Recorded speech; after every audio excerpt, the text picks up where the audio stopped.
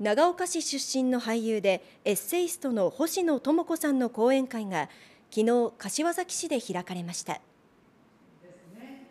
講演は世界を旅してふるさとを思うと題して行われました。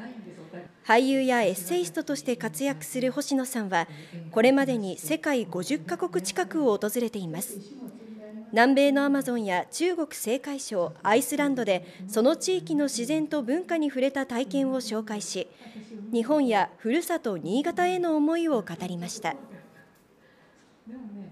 ふるさとの良さを知るためにあの外に出てみる新たな目で見ていただいてあのますます柏崎が発展してそしてあの自然と文化を大切にしていただけたらいいなと思います会場を訪れた人は星野さんの話に聞き入っていました。